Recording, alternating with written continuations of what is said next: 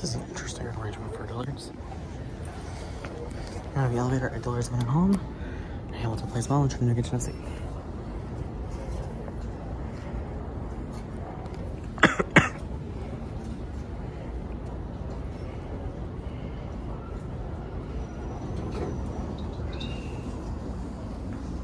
This is interesting.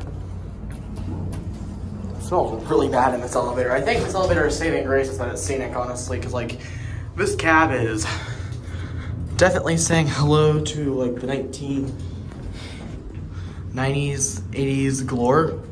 Um, I mean, it gets the job done. Um, Innovation Universal Fixtures, certificate, no smoking, key switches, floor indicator, or um, light floor indicator. Um, guess we'll end it back down on one. View out the glass.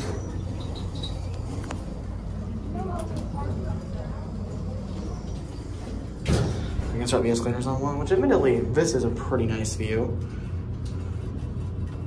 It's a pretty cool store, like, all in all. Watch the one go out too. But yeah, it smells really bad in this elevator. Hydraulic fluid. Associate, please pick up three zero zero